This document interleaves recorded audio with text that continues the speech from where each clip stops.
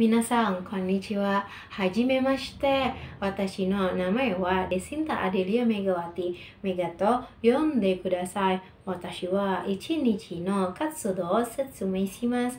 私は毎朝4時半に起きます。起きたらすぐに顔を洗ってお祈りをします。毎日に5回お祈りをします。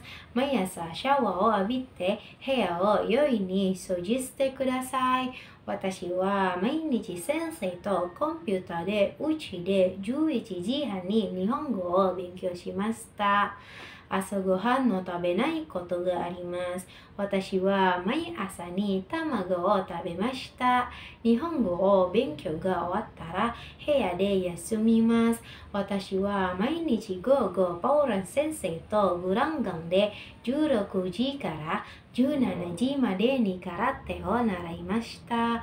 私はお父さんとグランガンから家までにオートバイで帰りました。毎日と部屋で9時から21時までに日本語を繰り返しました。